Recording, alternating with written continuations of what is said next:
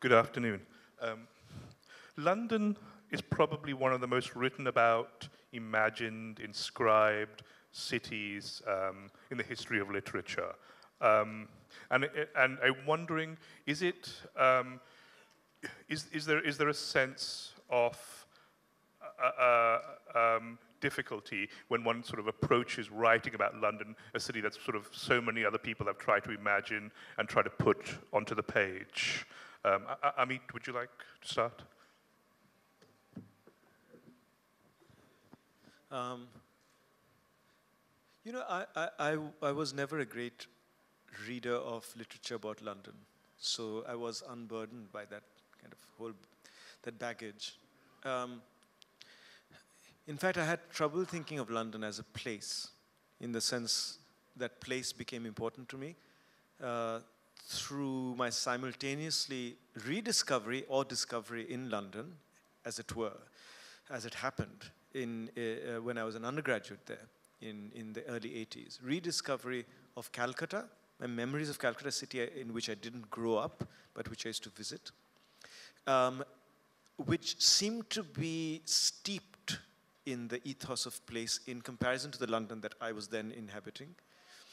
Uh, but also the literature that opened out onto place for me, which came to me through a kind of provincial literature. Uh, the, the, the literature of the Irish, the Irish moderns, Joyce, uh, New Zealanders who had migrated to London and begun to write about New Zealand, like Katherine Mansfield. So I'm talking about the early 80s, and my reading there, which led me to discover place and my kind of affinity uh, uh, for it. London was kind of the antithesis of that, uh, the, the, for many reasons, because I wasn't engaging with England or London, and it was to me a non place. It was a place which, where I had to be because I was studying there. And um, it's only much, much later that I began to become not only aware of its internal differences, its, its streets, its neighborhoods of, of, of the city as being also part of, you know, uh, a tradition which sees the metropolis not only as the center of things, but full of peripheries of surprises. I became aware of that much later and then would become aware of the interest in the literature which which explored that that that inner kind of um, in a in a I won't say conflict, but but a multiplicity of London much later. Uh, so so I, I, I mean I wasn't overly sort of uh, anxious or burdened by representations of London uh, when when I began to think about writing this book. Uh, uh, Farrukh, um, how, how, did you come to how did you come to writing about London, or or, or thinking about London, or, or, sort of dreaming about London on the page? Uh, okay. Uh, you know, the, the uh, unlike uh, Amit, uh, I had read about London mainly through its greatest exponent, Charles Dickens. Charles Dickens's novels are placed in Victorian London and well, most of them.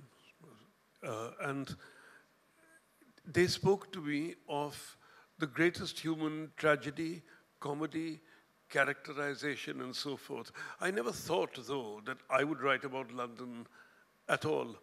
Uh, it's, it's a fact that uh, writers who want to be writers look for material. But you have to find your material. But mostly what happens, I think, is, from my own experience, is that your material finds you. And what happened to me was uh, I went to uh, Cambridge on a scholarship. Uh, I stayed behind after Cambridge in London because that was the place to go. There was, there was nothing to do in Cambridge to get jobs. And I had nowhere to return to in India. I didn't have an ancestral home. My father had migrated as a professional immigrant labor to Persia, to Iran to do some engineering. He died there. There was no home to go back to. And love and politics kept me in London. I joined immigrant groups, one of them the Indian Workers Association, and moved on from there to join a, an, an agitational propaganda outfit called the Black Panther movement. And being in that, we used to run a newspaper called Freedom News. And uh, we used to write all sorts of Marxist and Leninist diatribe in the newspaper, trying to convert people to revolutionary politics. And one day, a very wise man, uh, Mr. C.L.R. James, a Trinidadian philosopher, Marxist, and cricket commentator, basically, um, he came to speak to us and he said, Why are you writing all this nonsense? Uh, what, what do you guys do? Uh, and somebody says, I'm a bus conductor. He said, Why don't you write about what happens in the garage in, in London? And somebody else said, I'm unemployed. He said, What happens at the unemployment exchange? And then he turns to me and says, What do you do? And I said, I'm a school teacher. So he said, Why don't you write about what happens in your schools? And it immediately, that changed our editorial policy. And we began to write about uh, little things that happened in school. A black girl was accused of stealing somebody's pen. There was a fight in the playground. Somebody threw a bench at the art teacher. Uh, the fifth form disco got disrupted by black boys from Brixton who came and raided the place over jealousy over some girl, and the whole place got closed down. So I used to write these 500 uh, uh, word essays anonymously. One day, after about 20 of these editions, a fellow in a three piece suit comes to my school and uh, asks the people, Where is Mr. Dhondy? He says, He's in the staff room. The fellow comes up and he says, Are you Farrukh Dhondy? And I said, Do I owe you money or are you from the police? And uh, he said, No, I'm a publisher. And I read your short stories and stuff. And I said, How do you know they're my short stories? He said, The guy who sells me the paper told me. And can I publish them? And I said, um, those are only 500 words short stories. I am Scott Fitzgerald, I'm Hemingway, you know. Uh, I could write better stuff than that. And he said, well, try it.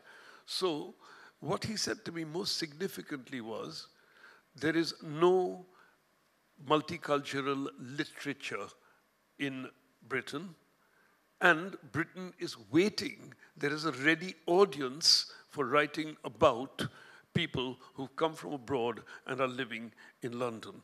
And at the time, through the agitation and propaganda work I was doing, I was working with the Bangladeshi, mainly Sylheti community in the east end of London, uh, squatting houses for them, fighting racism um, attacks, this, that, and the other.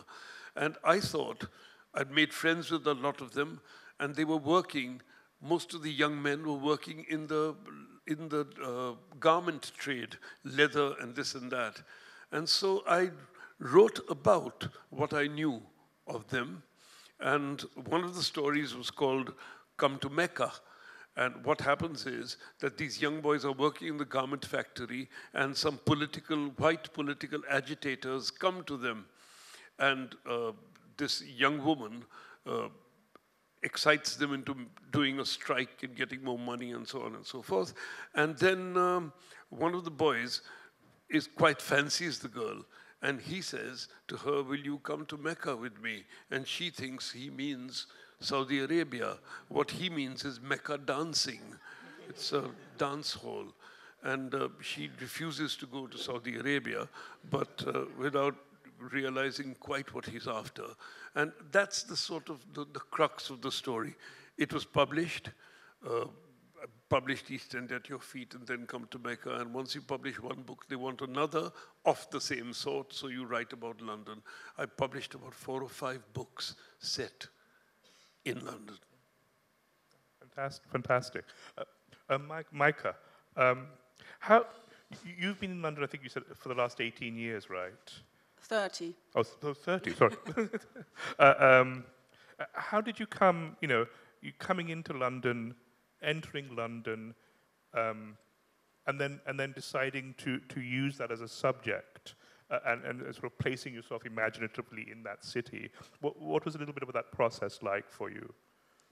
Um, well, I'm just referring to, uh, um, to my, uh, what um, Farrukh and um, Ami have said before. Uh, what becomes apparent, actually, listening to them, is that I think London, um, it, to put it negatively, is a huge mess.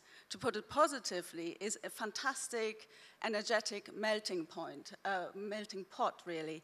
And unlike a city like Paris, you don't even, so Paris is often referred to as she, as a woman. Now, we were just briefly talking earlier. Is, is London referred to as, is, is it man, as, a, as a man or a woman? It's a beast. I think that was the best explanation we came up with. It's a big, big beast in a positive and negative sense. And actually, you can do with London and in London whatever you want. I haven't experienced, I lived in Paris for two and a half years. I lived in uh, Alexandria in Egypt for uh, a couple of years. I lived in other cities, and uh, I've never experienced um, such an energetic place as, as London. So I think in London, you, literally, you can become whatever you want if you put the energy in it. So as a writer, I never made the decision of I want to write about London because I don't actually know if you want to write about something, you almost need to have a sort of shape. What's interesting is that, of course, I live in London. And so when I was um, writing, setting out to write a book a, about uh, a, woman uh, in my, uh, at, you know, a woman in her late 40s as myself, uh, I imagined her in London. And then I realized that what London offers is, um, so I think the most, one of the most exciting things about London is also from the landscape point of view, is that you have the traffic, the, uh, you know, the sort of uh, cosmopolitan stuff, but you also have nature that coexists in London really quite next to each other. And if you want to send your characters out into the wild, you only need to send them out onto the heath, uh, the Hampstead Heath, which is a huge park in the north of London. And one of my most favorite places in London is actually on the heath. There are three ponds, uh, natural ponds, and they're swimming ponds. Uh, a woman's pond, a man's pond, and a mixed pond. And I love swimming in, in the woman's pond. So it was natural for me to also send my character, or one of my characters, there. If I wanted my character to link to their unconscious, that was, uh, you know, it's a vibrant, uh, symbolic place to send them to. Thank you. Um, one, one of the ways that sort of, you know, I know you live in the city and, wrote, and write about it, and Farrukh, uh, you live in the city and, and write about it. I, am not sure, I'm, i mean, did you, have you been living in London when you've been writing about it? No. So I, I know that sort of, you know, Joyce spoke about the fact that sort of to write, writing about a place um, that you are sort of distant from is, for him, was the only way of doing it, sort of to, to imagine that place. Um, he imagined Dublin when he was living in Paris and when he was living in, in Trieste. Uh, uh um, did you feel that sort of gave you a sense of mastery or ability over that city that living in that city wouldn't have given you? Um, I, I, I don't know. I, um, mm-hmm. I mean, London itself gave me perspective on what I wanted to write because it was so, my experience of London was so unlike everything I loved. Um, uh, uh, you know, I was so miserable in London in the in the early '80s when I spent those three three years there. Uh, what years were those? 1983 uh, to 1986. Yeah, miserable years. Yes. Uh, uh, well, firstly, well, I, I, I, first visited London in 1973 mm-hmm. and already became aware of well, at, well, there was a kind of there was a kind of journey that London and England uh, Britain were on. In 1973, from my perspective, so I was just kind of um, seeing for the first time a London in which, which was just emerging out of that whole psychedelia, Carnaby Street on the one hand, Indian gurus on the other, and the National Front on yet another uh, kind of emerging out of that. And I, I became aware of new sort of mm, new strategic uh, uh, uh, relations in a way that I hadn't before. That you know that um, strategically uh, the, the the the so-called Asians al- aligned themselves with the blacks, or even called themselves black.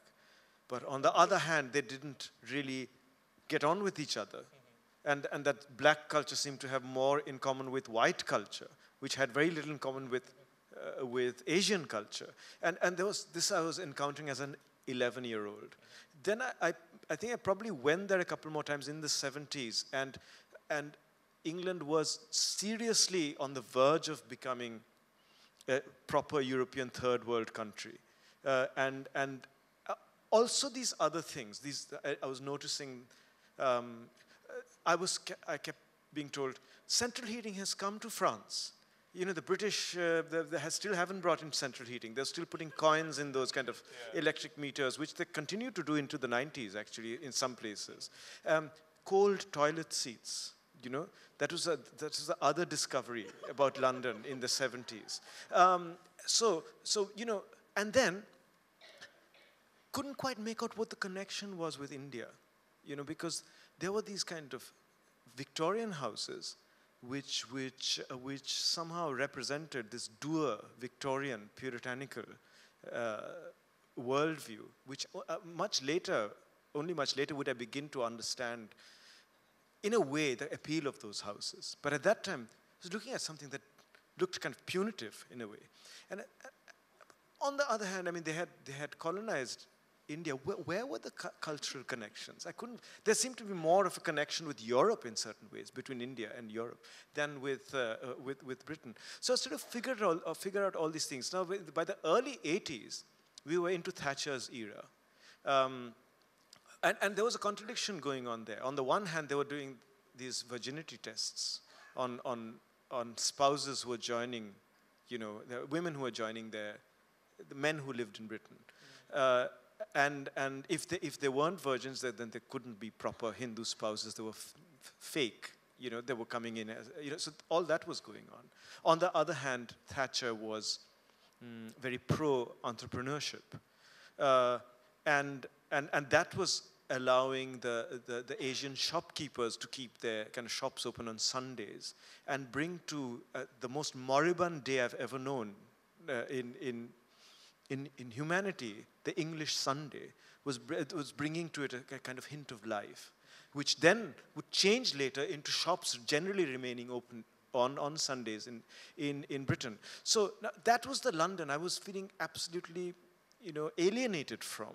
Uh, so it actually gave me a kind of perspective on, on everything I then associated with India, which is not, which is not people in turbans or elephants, but a different kind of city. Air and light and noise, which I wasn't able to engage with in London. I would find that I was getting a perspective on that when I was in London in the early 80s. Uh, and understand my material was not so much India, but a certain kind of city. Uh, that could be in Europe, but it happened to be in India, Calcutta, Bombay, or whatever. So, um, as, as far as London is concerned, it's changed a lot. And that gives you a perspective. That gives you the distance that you're talking about. And to write about the early 80s, as I've done in Odysseus Abroad now, to see the fallout of th that Thatcherite legacy, where the kind of stuff that Farrukh is talking about, you know, the, the workers, the strikes, and all of that have become a thing of the past. To see, uh, you know, the, the, the, you know, that's the London I gradually began to understand through Ealing films. You know, the older, older London of the 50s, the 40s. Uh, those were wonderful education what London was. But under Thatcher, into the 90s, in, in, the, in the world of Tony Blair and later, it had gone. You know, uh, the, the, the, world I encountered in the 70s, and which I also refer to here, in Hampstead and in Belsize Park, a bohemian world, had turned into the world of the super rich. That's the London we, we live in now. It's the London of the main super rich. That anyway gives you that distance you're talking about, I think, uh, especially when I'm writing about the early 80s. I, I, I suspect that, that, that London no longer exists. It's as if that no, city has been I mean, sort this of man living in a bed sit over there yeah. like a tramp, although he earns a lot of money. I don't, I don't know, how, in Belsize Park, I don't know how many people are doing that anymore, you know? Yeah, Mike?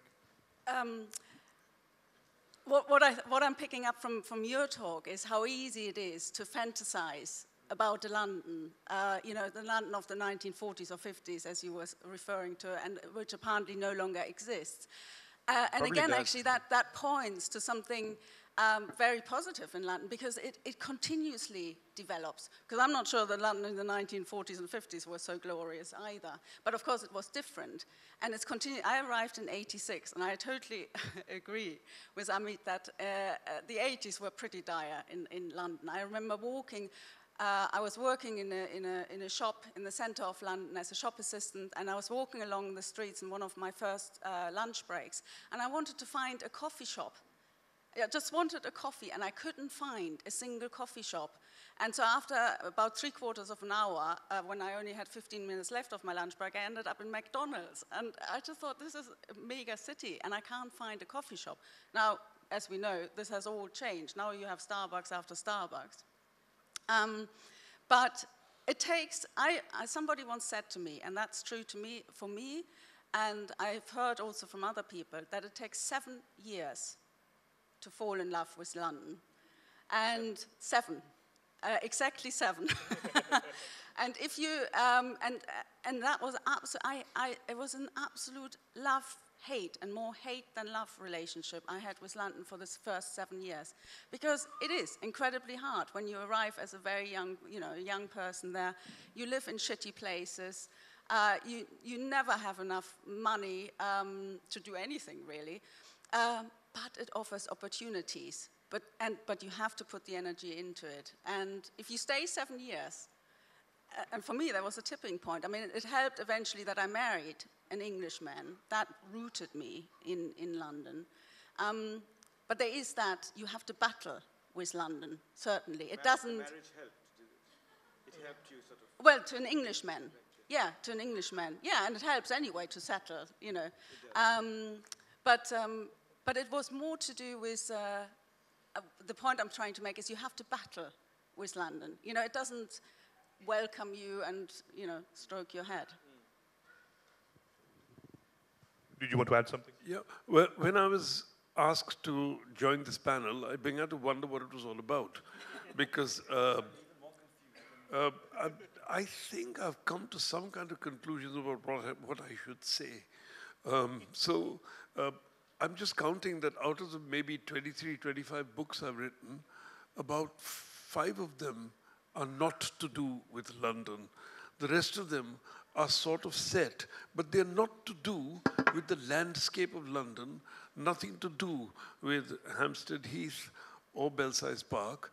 Uh, they are much more to do with the agitational life that I've lived there. My last, one of my last books called London Company is actually about uh,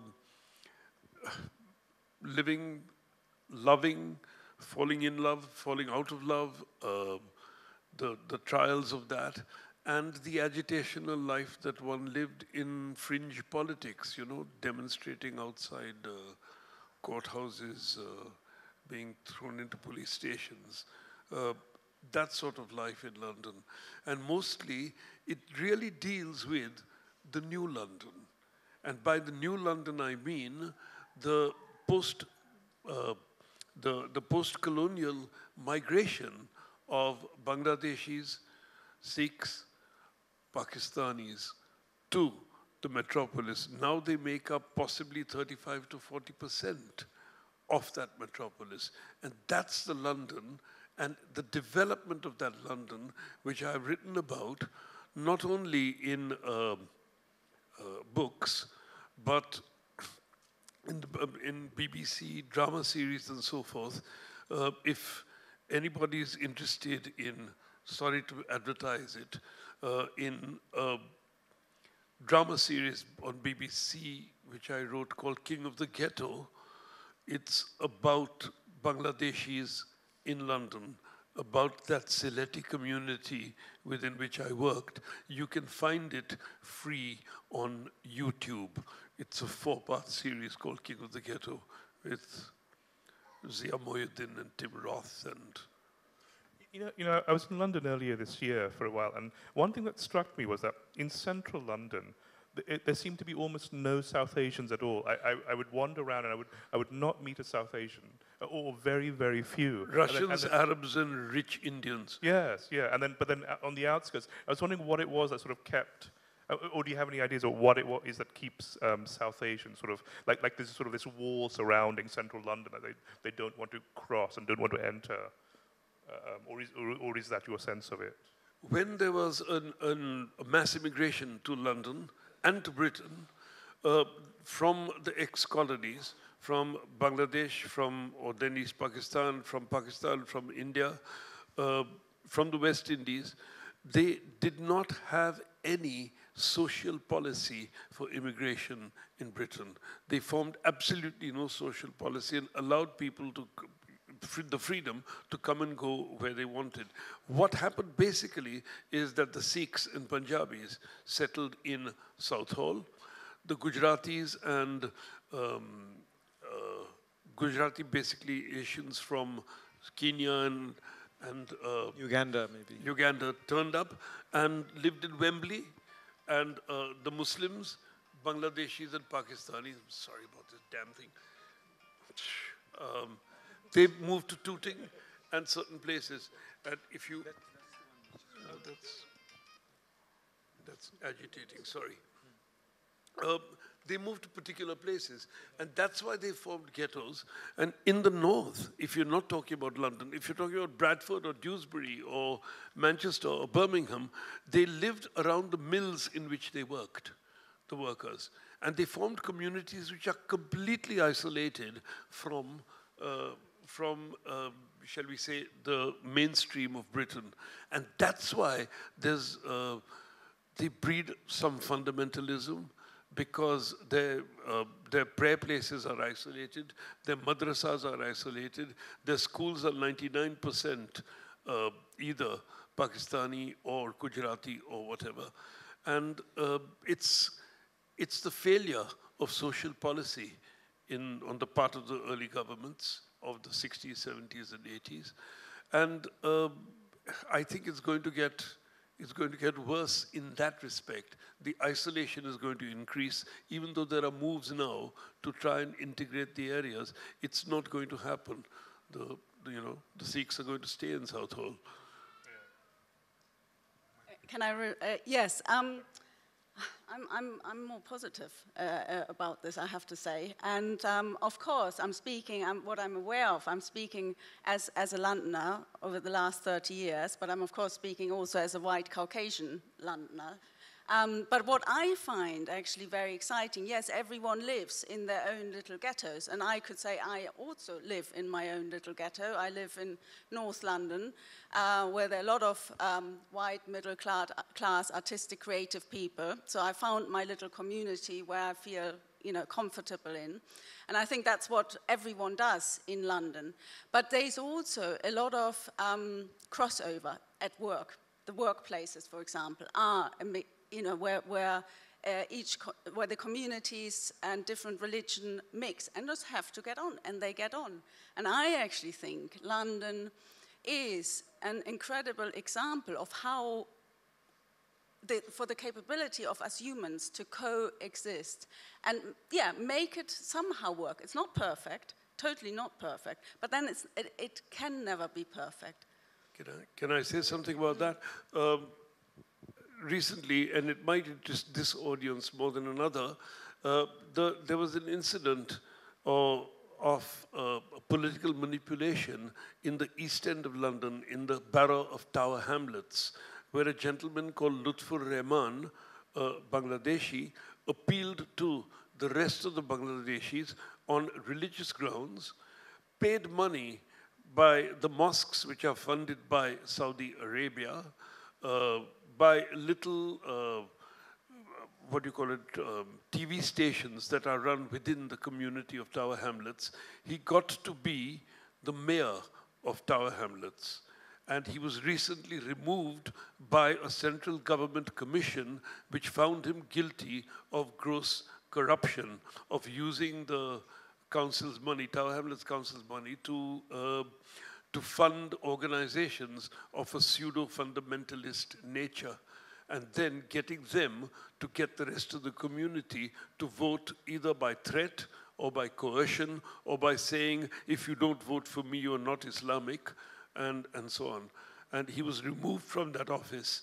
And um, another Labour Party member was uh, elected, that again the Bangladeshi uh, population of Tower Hamlets has uh, elected Roshnara of the Labour Party, one of their own, which is great, uh, a young woman, uh, educated in England, probably born in England, I think, and uh, she's part of the Labour Party um, select elite and a favorite of Jeremy Corbyn. So, so, let's see. We might have a Bangladeshi minister in the next government.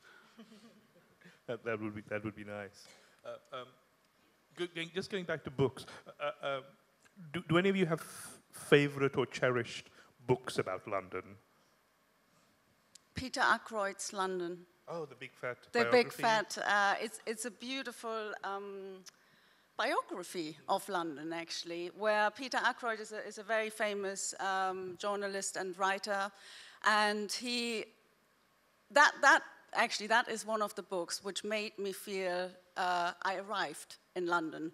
Uh, you can read it and, and walk. He, he explains, you know, how London has organically grown, and you certainly realize um, uh, where, so for example, where there are roads, which rivers ran uh, when they went underground, uh, where, you know, the fields were when they started to become houses. And you really have the sense of this organic growth thing, and you're in the middle of it, and um, it feels alive. So I can highly recommend that. Yeah, he's, he's, a, he's a deep, deep sort of London insider, like London is in his blood. Uh, uh, uh do, uh, do, we have any sense of like, a, like a, an outsider voice of London or someone who is sort of from the, the fringes looking in uh, um, of writers or authors? I mean, writer or books. I mean, the only, I mean, I'm sure there must be, my mind's gone completely blank.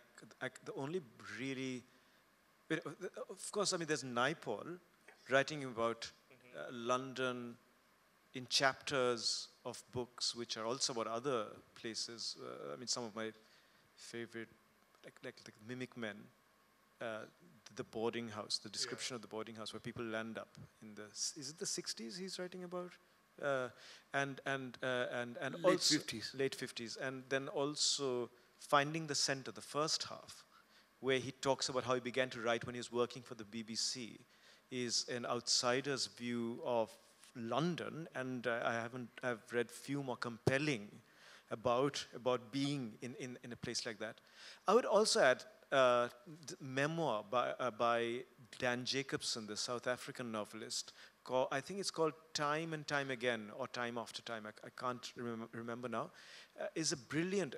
I think that's one of the best outsiders' views of London of somebody who really wanted to move there and really wanted to integrate and finding himself, and had read a great deal about it, and, and finding himself mm, initially unable to integrate, but yet sort of um, full of wonder about, about the city in a way I certainly didn't have when I first moved there. So, uh, yeah, I, I, mean, I would say Dan Jacobson's book, time and time again. Can I just add something uh, in relation to what you were asking earlier about the city? And, and just say that you know, um, I mean, talking about the immigrants and, and, and immigrants in the center of London and the immigrants who form part of uh, London's life and, and have in the last 30 or 40 years. Uh, you know, when I, when I went there in the early 80s, it was the Ugandan kind of refugees who really, I mean, who, who, who went there, and, and mainly the Patels who created the shops. And, um, and, and I remember that being, uh, you know, the, the, the, the number of people who were not white, uh, creating a kind of kind of sunlight for me in in in a in an otherwise miserable uh, uh experience of Britain, uh, and and and and and uh, you know um, about the London now. In many ways, it's a much more pleas uh, pleasant place because it, it, it has it has benefited so much from various kinds of booms and benefited from the rest of England as well. It has taken so much from elsewhere. Uh, all the money goes to London, in a sense. And, and, uh, um, and, and, and it's no surprise in a, that, that, that, the city seems to be booming in a way that it wasn't in the 80s. And when you visit it, yes, coffee is available. That you know, it's, it's there everywhere. And all these kinds of foods are avail- available, which weren't, uh, you know, once you remember food in, in England was a joke. Um, and, and so you, you have this kind of multiplicity of, uh, of bourgeois uh, amenities and experience now. Um, and, and yet, I feel a great sense of unease now when I, when I go to London because the way it's closed down, the way it is meant now for the rich and for, uh, for a particular circle. And, and the way the upper classes, the educated classes, are also far more insular now than they've ever been in that city. Uh, and um, in the earlier city, yes, it had those kind of contradictions of being bleak and depressing, and yet you'd, you'd suddenly meet somebody who was, let's say, from the academy, someone like Karl Miller, uh, founder, editor of the London Review of Books, a man capable of great intellectual generosity, but, you know, quite mm, open to all kinds of experience of what being British meant and on the side of socialism. Now, of course, socialism got, you know, the collapse of the left and, and the way the new labor reinvented itself meant this kind of consensus coming into England, uh, and, and which wasn't there earlier, this, this complete consensus. That lack of a consensus in 70s, in the 70s, of course, led to chaos, trade union-led chaos. But now you have this consensus and you have this kind of bubble world which is not even affected by the crash. I mean, these are the people who survived the crash and continue to do quite well, you know. So there is that side to all the fun and laughter of London right now, you know. But that, that's exactly the point. I mean, London isn't a fun and laughter. You know, it, it might be superficially a fun and laughter. And, and I, there's a, um, a big, uh, what is it called? The uh, London Eye. What is it? A, um, a, wheel where you can, you know, view London. And I, for me, that is always the, the uh, I can't remember when was it put up, 10 years ago. And I initially thought, and I you know, clearly hadn't read the newspapers closely enough. Uh, I, when I saw it the first time, I thought, okay, yeah, that's, it's, I don't know what this is supposed to be. It's, it's along the Thames, right in the middle of the center. It looks like a, a funfair roundabout, huge and ugly. Um, and uh, yeah, it'll come down in three months. And it's, it took me years, and I'm still amazed that this is supposed to be a permanent feature in London. And for me, that is the, the sort of um, symbol for the, the sort of superficial fun and laughter bit. Uh, but underneath it, you have the, the, the, struggles. And coming back to your thing about the, the, you know, London is now ruled by the mega rich, for example.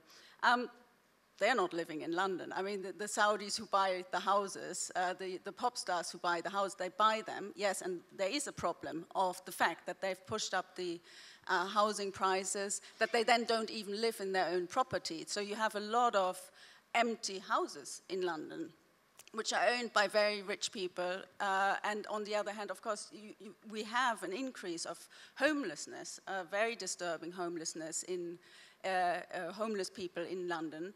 Uh, so there is that, you know, um, incredible uh, unbalance. But yet, I, I, I, feel like I have great hopes in, in the survival instinct of London.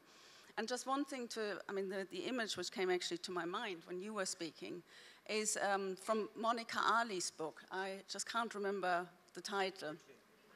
Brick Lane, there we go, yes. And her novel ends with the uh, protagonist putting a flower pot onto her windowsill, which uh, sort of symbolizes her final arrival and acceptance that she is now in London, a Londoner. And, um, and that also is a, is a, beautiful example of yes, it, it isn't perfect, but we put our flower pots, and we have, all of us in London, I feel. Um, there is space for us to put our flower pots. Right, that silenced the gentleman. no, no, Farrukh, did you? Um, you know, I've, uh, I don't know how to arrange flowers at all, but uh, uh, taking off from what Amit said, that there were, there were people, intellectuals, who were willing to uh, interact with you. just a story about the late Karl Miller, who used to, who you mentioned. He used to be the editor of The Listener. Now, The Listener was a very popular, big magazine. And when I left university, it began with a photographer writing uh, articles for agencies, trying to sell them, trying to, you know, make a, a living as a writer. Um, the, one of the things I came across was that the Beatles were in love with the Maharishi. And uh, we found out, or my photographer partner found out, that they were going to be at the Hyde Park Hotel talking to the Maharishi. And so we lined up outside, and there were hundreds of reporters and whatnot. But I had long hair and a beard and beads, and I was wearing a kurta and jeans. And uh, when George Harrison got out of the car, the police had stopped all the other reporters, but he grabbed hold of my wrist when he saw my, my, my clothes and pulled me in. And I took Andrew, the photographer, with me, and we went, and we were the only reporters at the first meeting between John Paul George and Ringo and the Maharishi, who was sitting on a pedestal talking nonsense. Um, and, you know, they were saying, oh, Maharishi, this, that, and the other, you know, but we uh, got hold of that. And of course, I wrote it up. And then I thought, who should I sell this to? And I phoned up Karl Miller, and I got through to the editor of a big newspaper. And he said, come and see me. So I gave him the article, and he just looked over it, and he said, yes, I'll publish it. I thought, wow, you know, uh, I've got 30 pounds for the first time in my life. Never seen so much money. And he published it, and then he called me to a party because I was the only Asian who'd written for his, his beautiful newspaper. It was like that then. I very much doubt it'll happen again. Yeah, yeah, that's, that, that world is gone, I think. Uh, uh um, another sort of city that's, or another London that no longer exists. Uh, uh um, uh, maybe, I'm not sure how much time we have, if we should open up, up to questions, or, um, but, but, we were talking before at the beginning to, to dump a little bit more on London uh, um, before the panel, Meike and I, about how so much of central London feels like it's become an amusement park for tourists and the rich. Uh, uh um, and the London I remember, even the crappy London from the 80s, which was horrible, and uh, even sort of more racist, horrible London of the 70s, uh, uh, um, there was a there was a charm, there was a beauty, there was a, there was a quietness, there was a sense of you could you could walk through this London and, and imagine history, imagine the past, and, and I find that largely gone. I find it just like big, this big flashy people with people going around on, on big wheels going wee wee. Uh, and I, I, am wondering if you would like, you know, any of you would like to talk to that or before you. Um, you know, one thing we mustn't turn this into is how wonderful the 80s and the 70s actually were, sort of a discussion.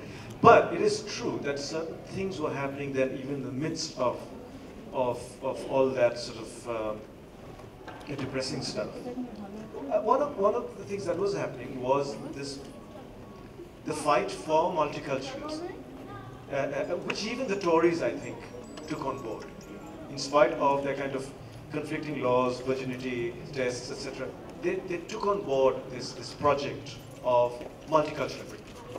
Um, earlier, before that, I, I, suppose in the 60s and 70s, I mean, you've talked about agitation in politics, and, and, and, the, and, and the politics which made uh, you know, racism, although it existed, anathema to the, to the educated liberal classes.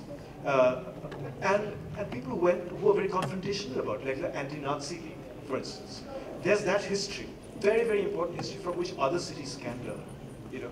And, and then the, the multicultural project, which, of course, I mean, had its schlocky side, its kitschy, schmaltzy side as well. But it, it meant that, it, yes, I mean, in the 80s, even if you were seeing token representation, you were watching on, on TV uh, programs about Indians, Pakistanis, uh, you were doing some of those.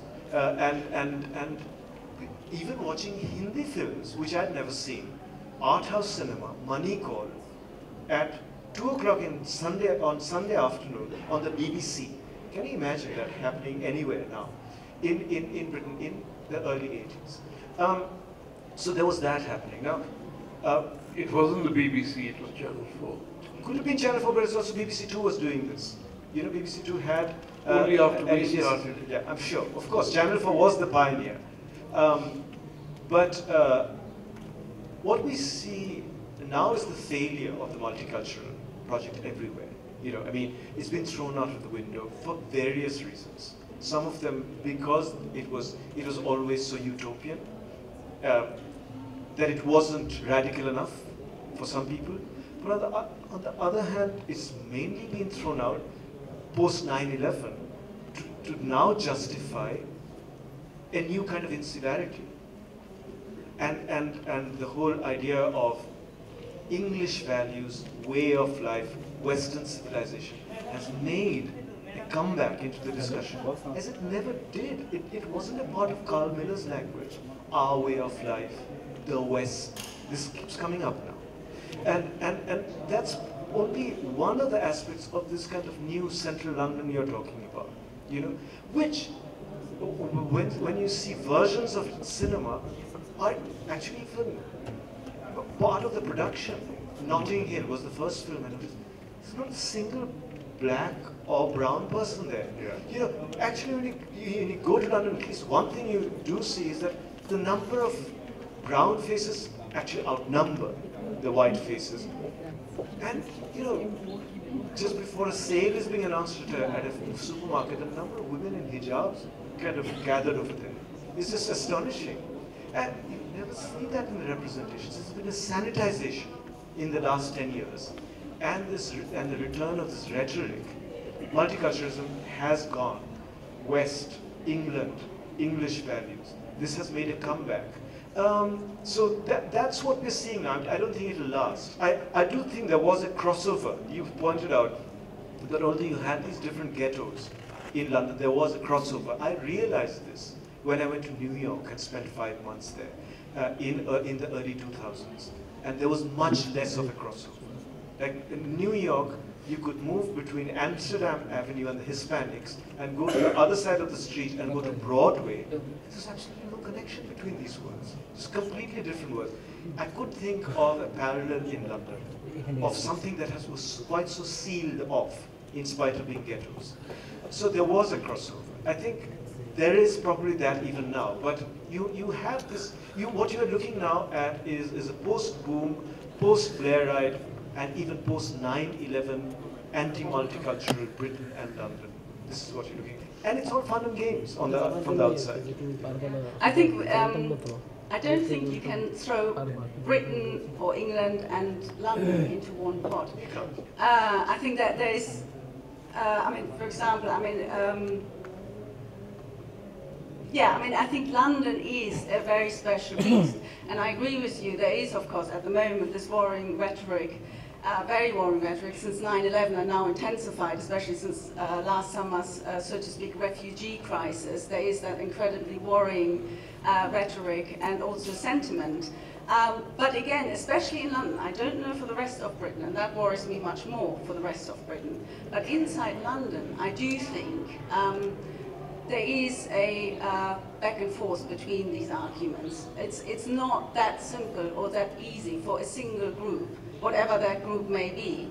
So if it's, uh, yeah, if it's the sort of UKIP voters or very conservative voters trying to push into one direction, if you have the um, you know, Islamic fundamentalists trying to push something into another direction, yes, it happens, but there's always in London a backlash against it. So that evens out. The problem is the rest of the Not enough, I would say. Not, not compared to, I mean, in, in India, the problem is there are, prof, there are professional left liberal people. They make a career out of being that. I wish there were a few more of them in. You know, the, the, the professional left liberals seem to have gone, mainly.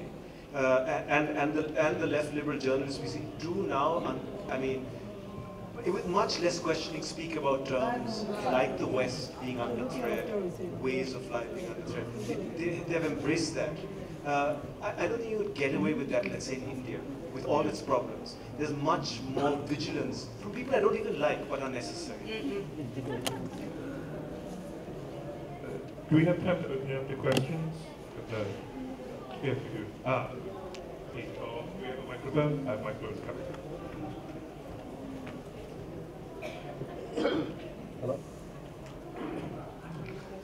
Think the uh, immigration from the East European countries is going to affect uh, the culture of London or the Londonness of London?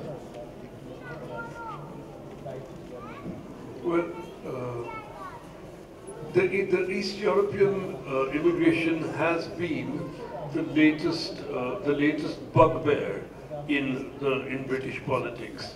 The party called UKIP, the United Kingdom's Independence Party, has broken from mainly, it started by breaking from the Conservative Party on the issue of the number of East Europeans coming into Britain. On the other hand, the Conservative Party, which represents the capitalists, say that we need Polish plumbers, builders, plasterers, artisans.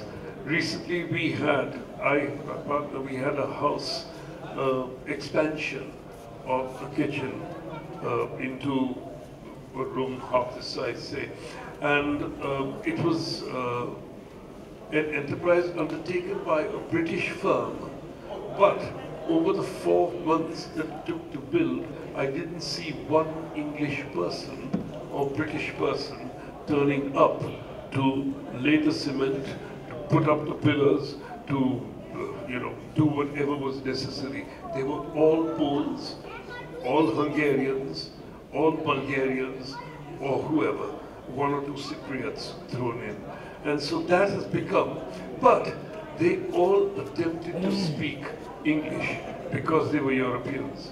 If you had people, shall we say, from the subcontinent, uh, workers in mills in Bradford or Dewsbury or uh, Huddersfield, they wouldn't bother to learn English. They were quite content to live in their ghettos. The uh, uh, Polish immigrants, for instance, who are the largest number, are attempting to integrate, and they really are a necessary part of London. If you go to any bar or any hotel, the people serving you will not be English. They'll be Eastern European.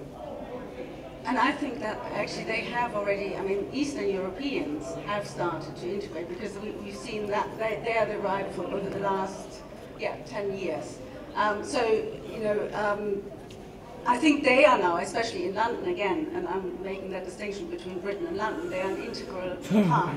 Actually, I was, as you were talking, I suddenly had this, um, and I think this is quite a good uh, uh, example of uh, Britain. My, my father-in-law, my late father-in-law, uh, who really still belonged to the old colonial Britain in some ways. Um, he uh, yes, he, he, made, you know, racist comments against Germans, against, you know, anyone. Um, his two sons both married foreigners. And um, yes, he made racist comments. I mean, his, his major joke was, well, if you tell Germans to walk, they will even walk over a, a cliff. And he would say that right, you know, in, in my face. And I, I just realized, as long as I just pretend I haven't heard it, um, you know, we actually coexist quite happily. You know, he and he, um, yeah, so he, he had to accept that both his sons married foreigners. Um, he, he wasn't happy about it, but he accepted it. And he actually was ultimately a very nice man. And that for me is always somehow uh, shows the ability of the British and also especially Londoners to somehow accept and eventually embrace, not necessarily always, you know, lovingly at first, but yeah, to, to integrate something into their system. Do you have any other questions?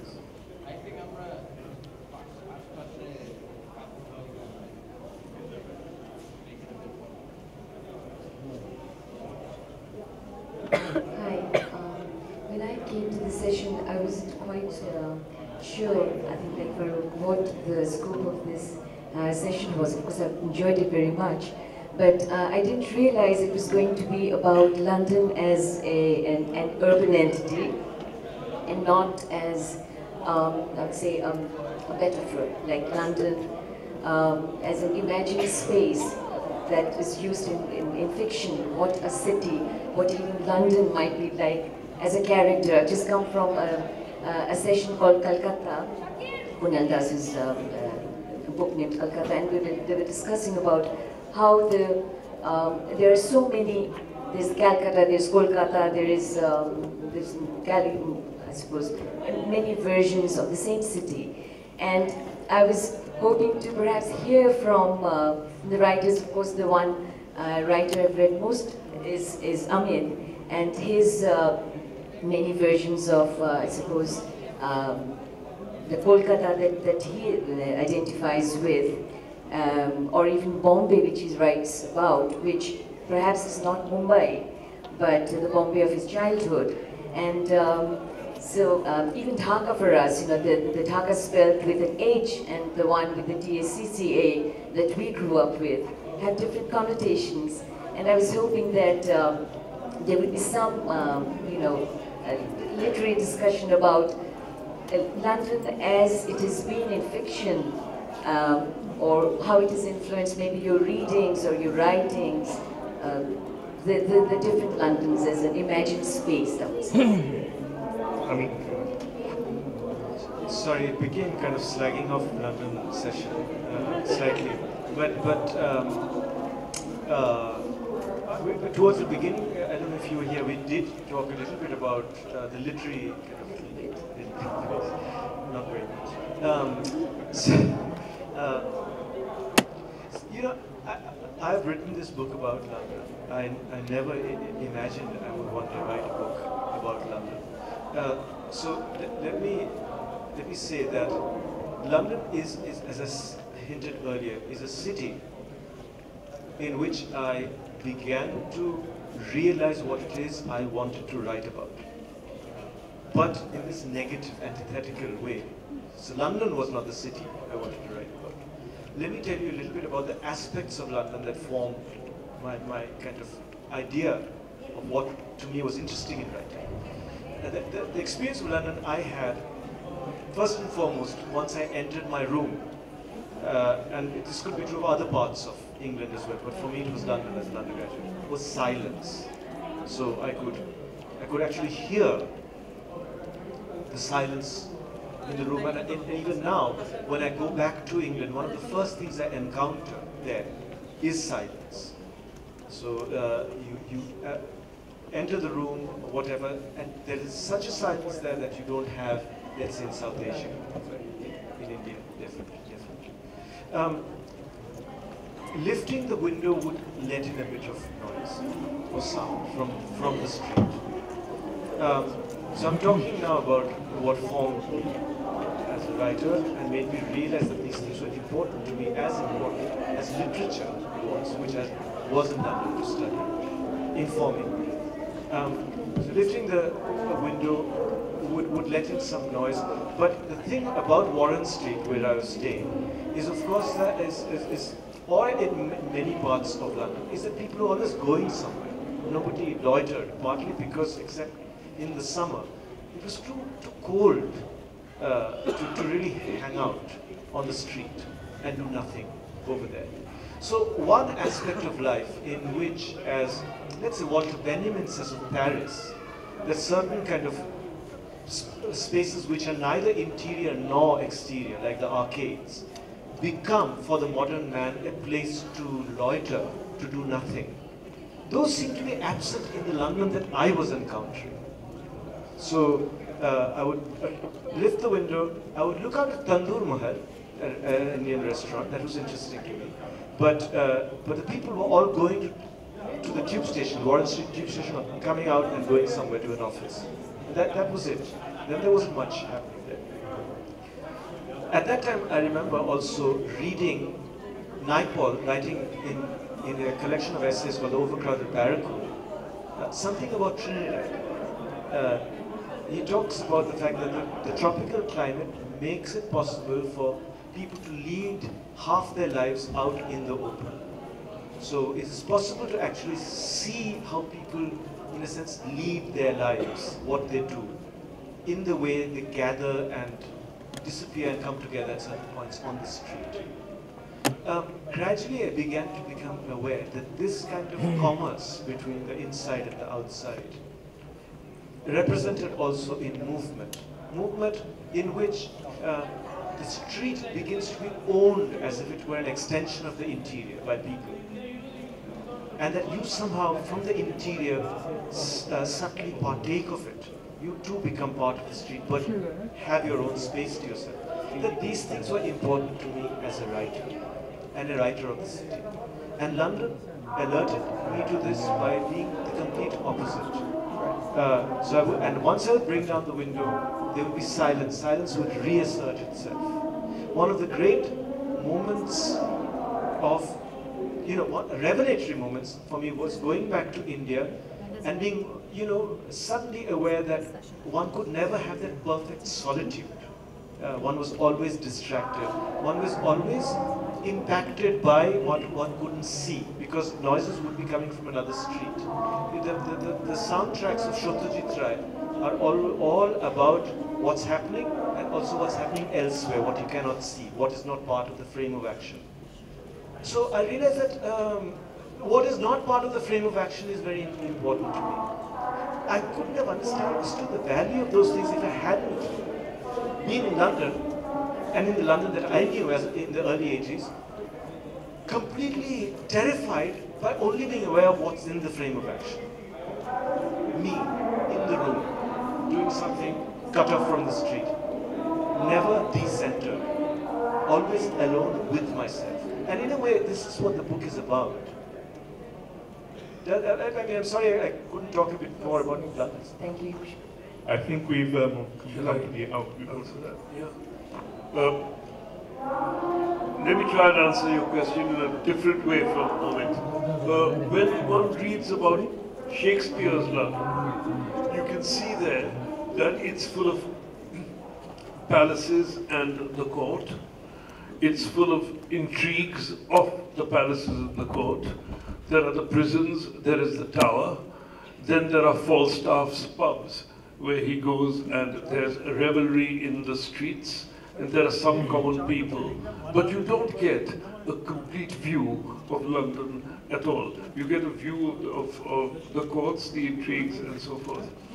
When you come to Dickens's London, skipping a few centuries, you again find uh, what has happened in London, of course, is that capitalism has impacted on the city and has disrupted the feudal structure. But yet, you won't find, even though Dickens worked as a boy in a, in a, blacking factory, you won't find a description of capitalist work, of labor at all. What you find is Fagin and Oliver Twist being pulled into a den of crooks. Uh, you find the gentry who live in, uh, who adopt Oliver later, or David Copperfield's people. You find the schools and the cruelty there. You find the workhouses. You find Marshalsea prison. You find the madhouses. You find the prisons. Uh, you, you get a feeling of London, which is very, very real, but you don't get this idea that manufacturing has, in some sense, changed this whole landscape. Again, I would characterize it as the sort of settlement that one finds, shall we say, in feudal India.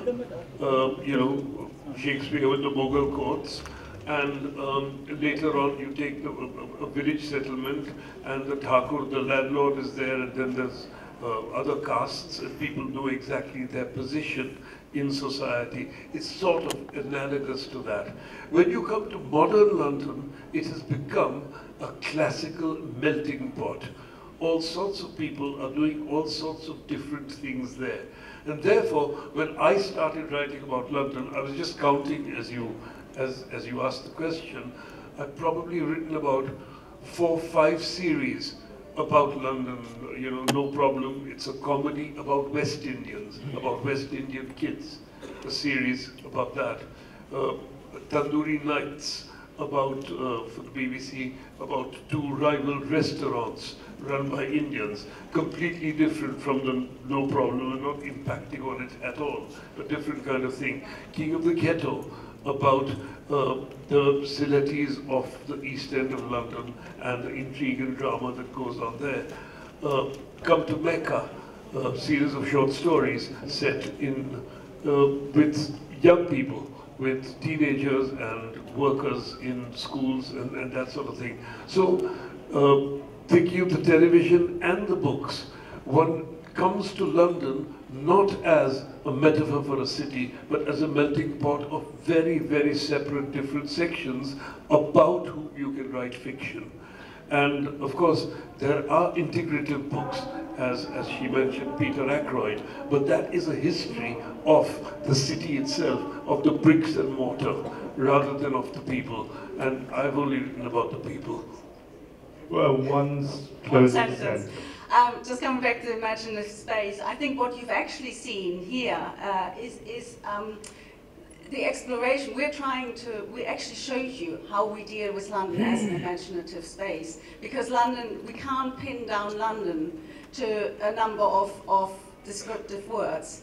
And I think that's what makes London exciting. That's why we all, in our different ways, actually, we're continuously responding to London, and it has in- influenced us. So in some ways, you saw imagination in process. Yeah. Thank you very, very much. Thank you all for coming.